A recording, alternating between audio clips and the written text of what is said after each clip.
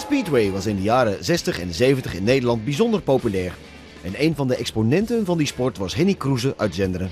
Een begenadigd talent. Een man die geen angst kende en die op de baan de ene na de andere overwinning binnenjokkerde. Henny Kroeze, 63 nu. Hij moest wel motorcoureur worden. Eh, de- ik kon niet anders. Dat zijn degenen die dat bepaalden. Ik heb de genen gekregen van mijn vader, Tony Kroeze. Die dus ook eh, motocross eh wegrace en ging speedwayen. Ook meervoudig Nederlands kampioen. En eh, ja, dan, dan heb je toch het racegen in je eigenlijk.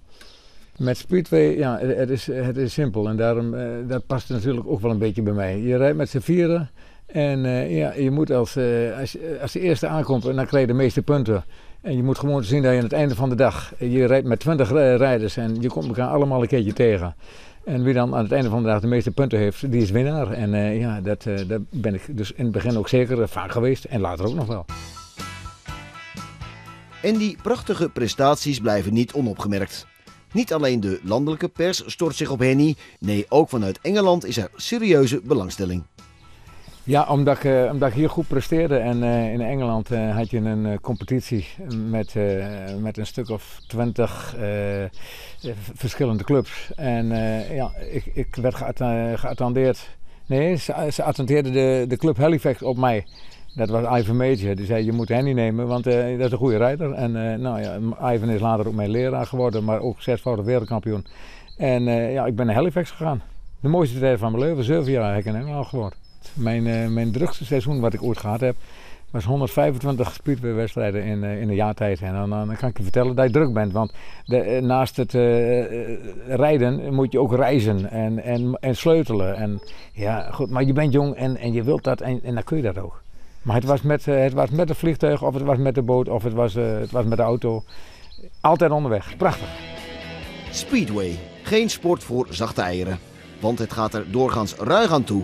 En dus moet je ook wel een beetje gek zijn om je in die wereld te storten. Poco Loco, hoorde ik, hoorde ik het weekend nog. Is dat niet heerlijk om een klein beetje gek te zijn en toch, eh, en toch eh, iets wat je graag doet eh, en, en daar je kostje mee kunt verdienen? Nou, dan, eh, dan, dan ben je gepassioneerd en dan is dat het mooiste wat je me kan overkomen. Ja, maar het ging ook eh, knap vaak mis. Goed mis. Ik ben er nog steeds, ik, ik kan er niet op, op zo'n tientallen breuken heb ik dus gehad over de jaren. En, maar ik ben er nog steeds en ja, daar moet je ook een beetje geluk mee hebben natuurlijk. Ze noemen me wel eens een, een levenskunstenaar. En die levenskunstenaar doet nu aan steile wandracen. Met een motor. In een soort ton oerend hard rondjes racen. Want iets anders dan motorracen, dat zat er na zijn topsportcarrière echt niet in. Door die eh, sportcarrière wat ik meegemaakt heb, eh, ja, eh, dan, dan ga je mee stoppen en dan denk je, wat moet ik nu gaan doen? Ik heb me laten omscholen tot machinebankwerker. Ik kwam in de fabriek terecht en ik was doodongelukkig. Het werk vond ik leuk, maar ik, ik was als een vogeltje gekooid. En toen kwam de steile wand op mijn pad. En ja, ik denk, dat ga ik doen. En, en, en, ik ben helemaal weer in het leven gekomen. En, en je moet gewoon je kansen pakken natuurlijk. Maar daar moet ik wel de mogelijkheid voor hebben. Het moet ook op je pad komen, maar je moet het ook zien op dat moment. Nou, dat is mij gelukt en eh, daar ben ik nog steeds ontzettend blij mee.